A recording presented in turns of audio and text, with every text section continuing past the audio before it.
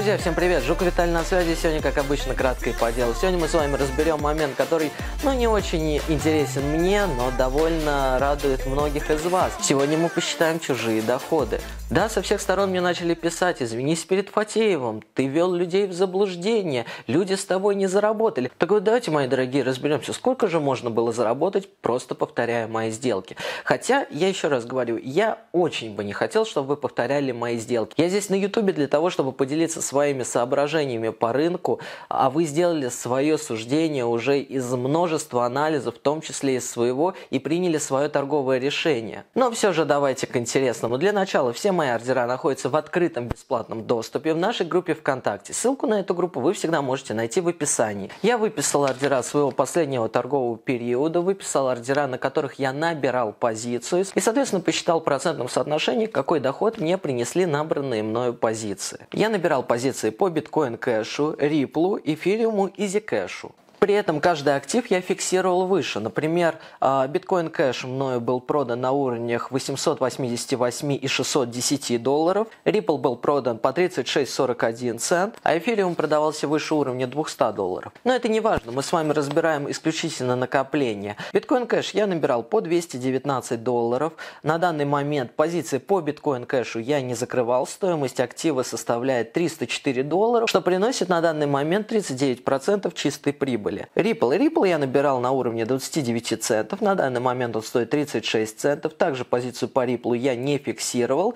На данный момент доход 24%. Zcash я набирал на уровне 52,4 долларов, и половина мною была зафиксирована на уровне 73,7 долларов, что составило 40% от закупочной цены прибыли. А теперь самое интересное. Самое интересное это эфириум. Эфириум мною был закуплен на уровне 86 долларов.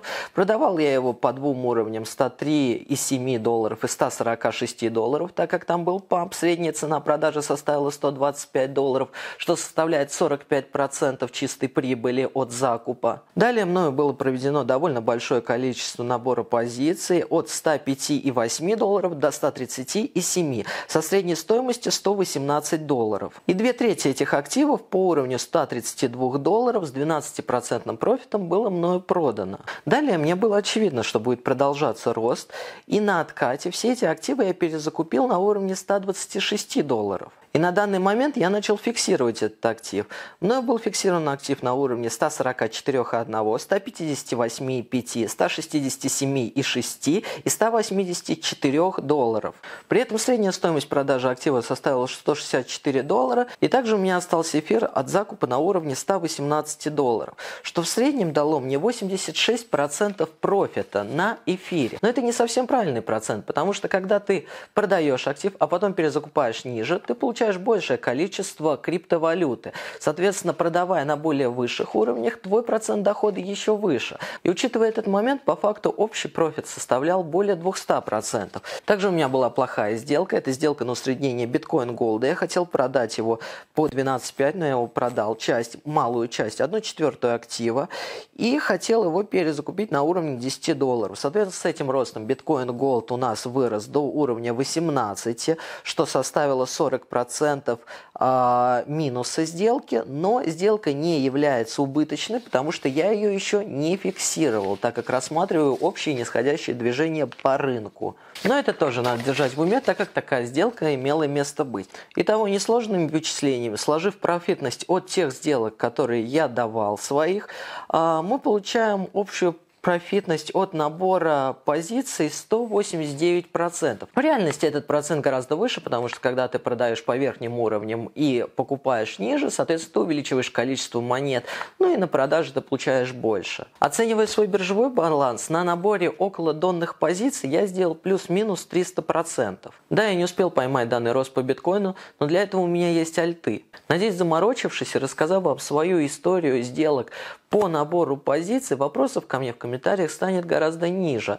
А что касается Фатеева и приспешников, то уровень непрофессиональности его и его команды, ну, он просто поражает. Так, друзья, пару слов о спонсоре выпуска, и мы разберем с вами ситуацию по биткоину, чего нам стоит ожидать от этого актива.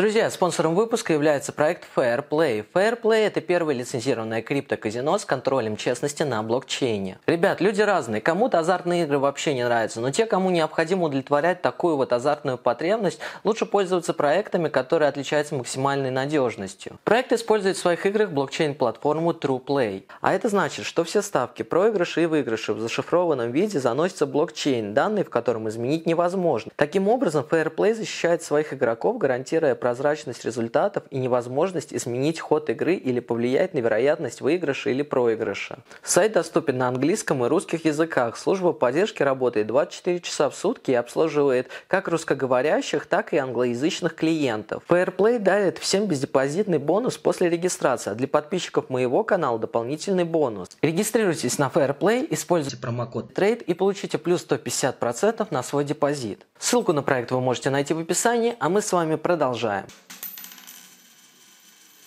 Друзья, начнем с краткосрочной ситуации по рынку. Разберем с вами биткоин. А для начала хотел бы сказать, что на данных манипуляциях, конечно, краткосрочно прогнозировать актив, но дело крайне неблагодарное. Но все же здесь есть предпосылки для более вероятных движений. Учитывая просадку объемов торгов и то, что без объемов мы с вами пошли к уровню 5300, довольно спокойно там поболтались и начали от него отбиваться, вполне логично сейчас ожидать актив внутри рамках канала, у нижней его поддержки на уровне 5000, 5000 70 долларов. Если разобрать ситуацию глобально, то вот я в прошлом выпуске говорил свое предположение, что нам с вами начнут показывать рост, но не дойдут до уже существующих границ сопротивления, на которых, вероятнее всего, должны будут быть продажи. Нам с вами нарисуют новый уровень. И так действительно произошло. По факту волна адекватного сброса позиций находится на уровне, ну, начиная с уровня 5650 долларов, ну, где-то до уровня 5750. Это адекватный уровень, на котором по-хорошему надо сбрасывать удерживать позиции.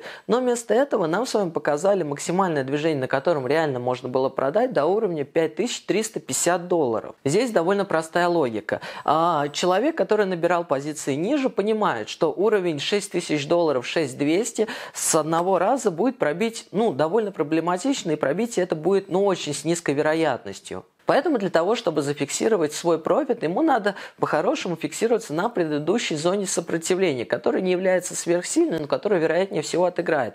Эта зона сопротивления как раз находится на уровне 5700 долларов. Маркетмейкер же здесь делает таким образом, что проторговывает до уровня 5400, дальше отправляет нас вниз. Таким образом, крупняк, во-первых, заставляет засесть трейдеров в активе, во-вторых, а, крупняк не может выйти в один ордер, ему нужна фаза распределения, которую, по моему предположению, мы сейчас начинаем видеть. А точнее, мы видим предпосылки для ее формирования. Но в этом нужно убедиться, посмотрев хотя бы еще несколько закрытий дневок.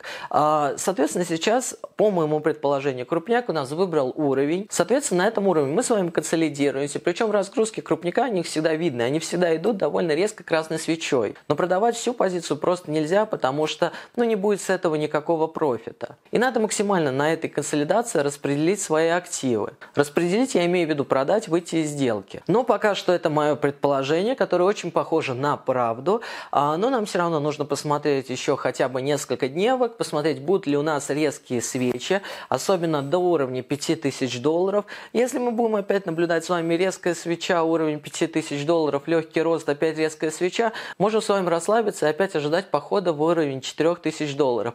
А если рассматривать ситуацию глобально, определенно данная ситуация не похожа на бычий сетап. Сейчас просто манипулируют рынком, и на этих манипуляциях лично я думаю, что уже делают разгрузку позиций. Теперь по поводу рекомендаций. Входить ли в актив, выходить ли из актива. По поводу входа в актив точки входа сейчас точно нету, определенно. А по поводу точки выхода. Точка выхода есть. Это пробитие уровня 4700 долларов, что, соответственно, у нас подтверждает сценарий того, что мы с вами увидели зону распределения, обратно возвращаемся к уровню 44200. А по поводу торговли внутри дня, я считаю, что риски слишком высокие и от них лучше воздержаться. Своими соображениями по рынку с вами поделился. Если был полезен, поддержите видео лайками, оставляйте свои мысли в комментариях. Ну и, разумеется, если не подписаны на канал, обязательно подписывайтесь. Работаем.